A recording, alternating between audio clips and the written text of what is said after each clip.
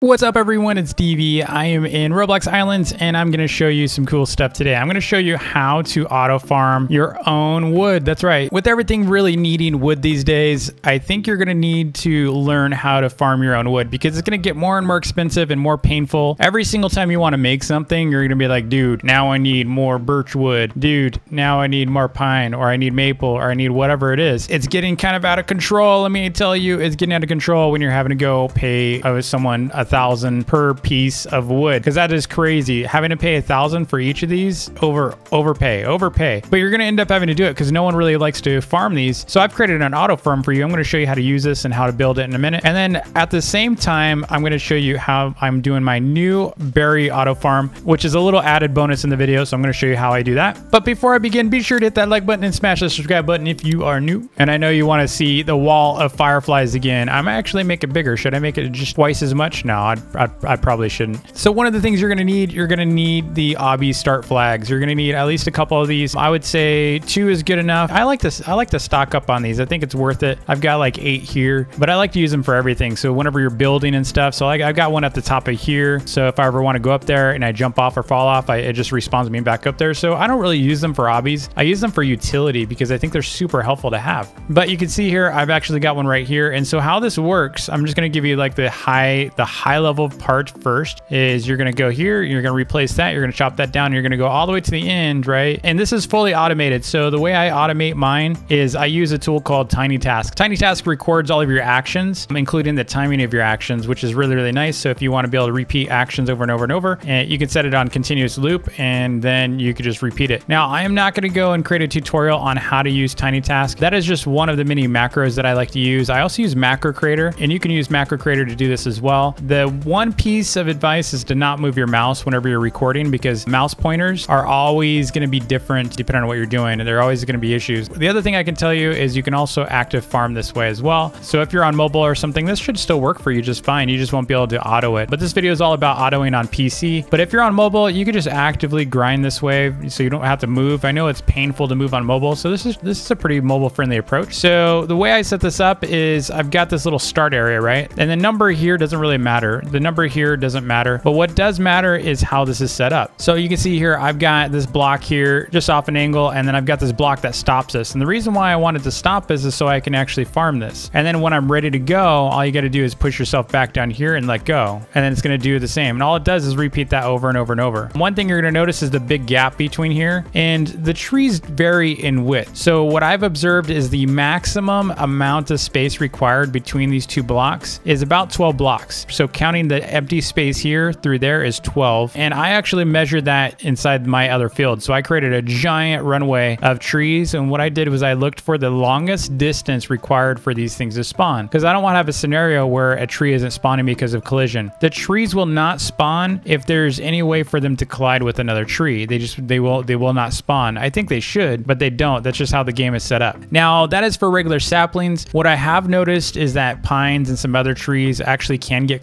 closer to each other. You can see like these, these are really narrow trees the birch are. So if you're gonna just do like a particular uh, type of wood, you might be able to make a different farm for each tree type. Like technically I probably could have fit another tree right here for birch, but we're, we're, we're just really focusing on wood here. So I have birch here. I'm gonna go and show you what I can do without birch. So here's the process that I use. I like to make sure in my hotbar, number one is my pickaxe. Number two is gonna be my grass. And number three is gonna be my sapling, right? So that's gonna be my sapling. Now your sapling, number three slot's gonna be whatever you want. So I've actually already created a script that does this. So all I have to do is if I want to change the wood types, I just change out the sapling. So maybe if I have a bunch of uh, maple, I don't have a lot of maple with me right now, but say I did, then I would just change the sapling to maple. And that way, whenever I'm automating this, um, I could just pause it, sw switch out the wood type or the tree type, and then just resume it. And what it'll do is it'll farm all these birch and then it'll replace the next run, will replace it with maple or whatever I choose. If I don't want, maybe I want hickory, maybe I want some other tree. And I would actually definitely recommend start farming hickory now because you know that's coming. We already know that's going to be coming. Maple and birch are the two that they've been pushing a lot lately. I haven't seen a whole lot of pine. They haven't really done a whole lot of pine, but they are, I'm assuming, I don't know this, I don't have any clues on this, but because they did hickory recently, they're most likely going to use hickory on something. So I would start farming hickory if you could. One thing I want to note is this does not produce a crazy amount of wood. It's just, it's, it is nonstop. So you're going to be making some pretty good wood overnight. If you want to do a ton and unfortunately, it's going to need some active grind because what you're going to do is you're going to actually have a tree farm that's really close together, something like this, and you're going to stand in the middle of it and you're just going to use maybe a fast pick or something and just take it all out, or you could break the bottom. Problem is the way trees, especially close uh, up like this, they they randomly spawn and when they're ready, and so it's really hard to fast farm those. But you can you can farm about a thousand pretty quickly if you really if you were in a real bind. It's about I think you could do it for about 20 minutes or so, maybe 30 minutes. You can get about a thousand trees, um, and that's pretty good, right? But overnight, if you're getting still about 5,000 overnight, why do the active work when you could just overnight it? And so that's what this is for. So I'm gonna I'm gonna kind of show you how I built this right now. So the way I did it was I actually set up uh, glass blocks here, and then I've got a bunch of conveyors. I don't know, yeah. So I've got 120 conveyors here. So the way I did it was I basically set up something like this, right?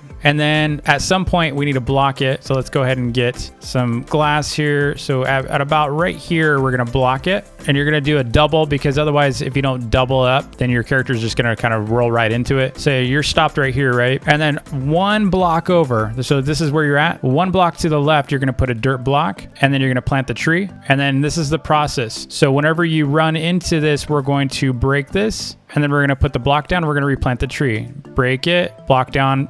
You get what I'm saying? So you're gonna be taking out the tree, replanting the block, planting the tree. So it's a three-step sequence. And you can see how fast you can get after a while. It's it's really fast. So we're going to be doing that in the strip here. And so the way I do this though is okay, so right here we got the tree.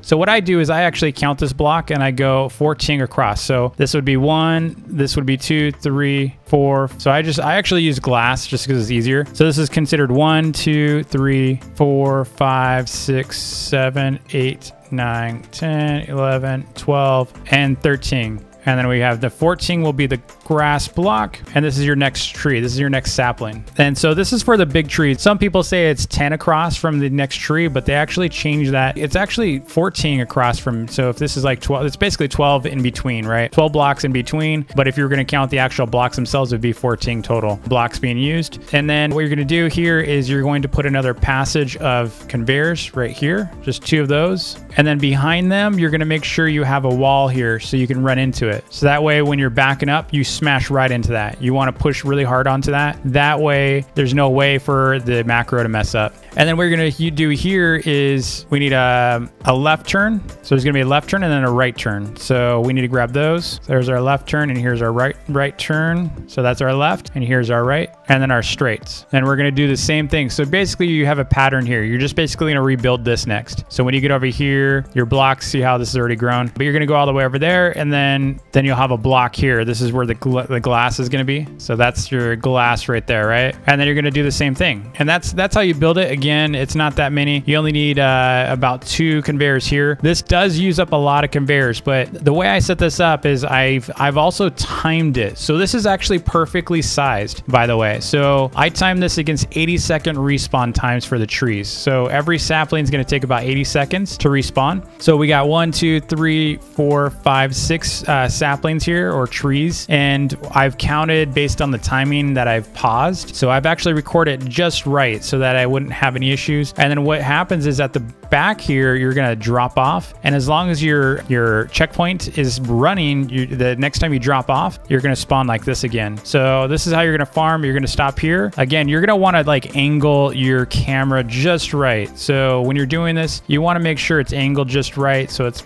basically see this this line here the conveyor should be kind of straight across. Shouldn't be like this it shouldn't be like that. It should be pretty much even like that. And then what i like to do is see the glass blocks the very top of the glass blocks. I like to kind of angle those so they're just kind of aligned to the uh, silver part the metal part of the conveyor. Um, if you do this then you're gonna have issues with the camera. See how things are like kind of buttoned up like the there, there could be collision for the camera and we, we don't want that. And let me go ahead and disable this because it's kind of interfering. You're not to have anything behind you. But let's go ahead and show you right here. Okay, so that's a good spot. And what I like to do as soon as the camera is in a good spot, I'd like to just jump off again and make sure this is in good shape. So I'm in a good position. And then what I do is you could make it so you just break the block, right? So you could just make it so you just break that. The problem I had was sometimes it was just out of alignment and sometimes it would place the block right here or you wouldn't be able to get things. It, it just got a little, um, especially with my body movement because we're on a uh, conveyor. See how the camera actually does move a little bit each um, pace? Sometimes you'd actually accidentally hit this, and it just causes too many issues. So what I've decided to do is always hit the tree no matter what. So we're gonna go and start with that. The way I do it though is I don't start with the, the pickaxe enabled as part of my recording. I actually keep it disabled. So I'm usually I usually have a sapling in my hand, and then I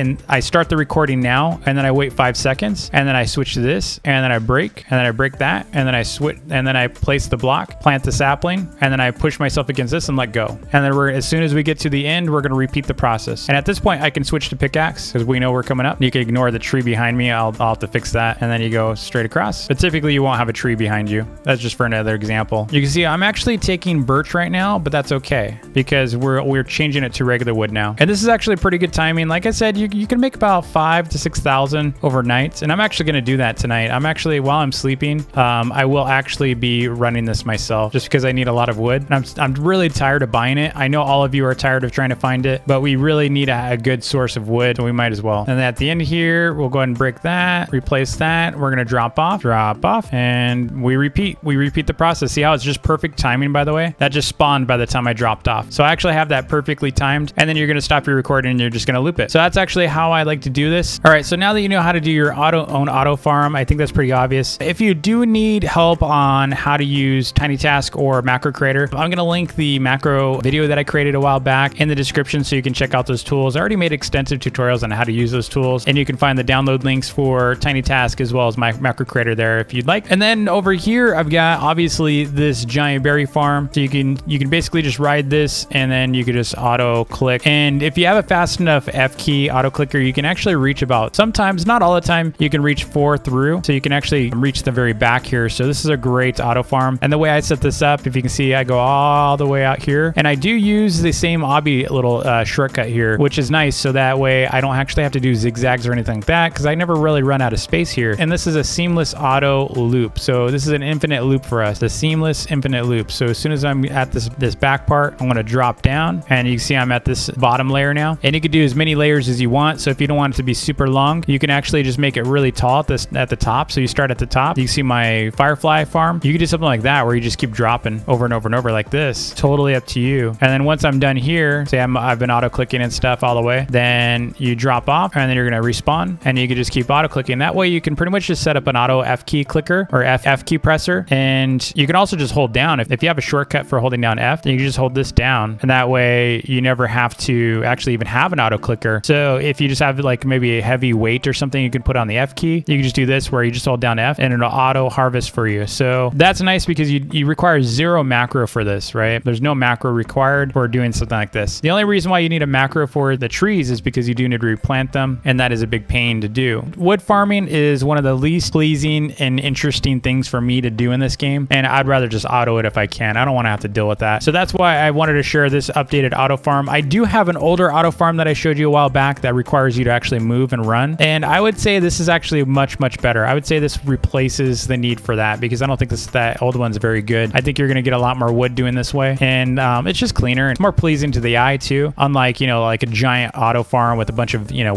green blocks and stuff. It, it was just kind of ugly before, but I like this version a lot better. You know, the downside is it does cost a lot of conveyors. You know, it's not very expensive if you think about it. Conveyors are actually really cheap to make. You just have to actually go and find people with enough iron and coal. If you don't have enough, you're going to need to make all those uh, conveyors or find someone that's selling a bunch of conveyors. But they're fun to use anyway. You need conveyors anyway, so go get them. And then you're probably going to be spending about 50,000 for your flag. So just remember you're going to need about 50,000 coins for that flag. Now, you could just do something like this without the flag if you're like, well, I already spent all my coins and I don't have any more, so I can't do the flag. Then you could also set this up. So like a, cheap way of doing it is instead of doing it this way, you could just set it at your spawn. So you could do the, the cheap way would be like this, right? The old fashioned approach would be wherever your spawn is, and then you just do this. And so you go run down here, and then once you drop off, you fall that way and you just keep doing it, right? That's the old way of doing it. So you could still do it that way as well. If you don't have an obby flag, just do it off of your regular spawn. It's not as nice and it's not as clean, but it is it is an approach you can use. I just don't like doing that because I want to I want a little bit of control of where I place it, you know? I just don't I, I don't really like this this spot for it. I like that this is kind of down there and it's clean. And then I also like that I can do this for different types of uh, farms as well. So I could actually have my berry farm, I could have my tree farm, and then I could have my honey farm. I could do whatever I want with these, um, taken this approach. And it's just really, really clean to do it this way. One thing I will tell you is because of the changes to the interaction thing, this doesn't work as well. The um, berry bush did get nerfed. So this berry berry farm did get nerfed. You can't quite do as many as you yeah, used to be able to. I used to be able to get a lot more of these, but for some reason I can't seem to get as many anymore. So they did uh they did patch that recently because they changed the way everything worked as far as interacting with farms and stuff. So because that I can I can't always get through it. It's almost like I added a little they added a little bit of a cooldown to slow down the uh, speed in which you can pick berries, which is nice. So I hope this was helpful for you and your farming of wood because I know I needed I needed this. I needed to make a farm, so I figured I'd share I'm doing my farm. So I'm actually going to do that, like I said, overnight. So I hope you enjoyed the video. If you did, hit that like button and smash the subscribe button if you are new. And I will see you all next time. Take it easy.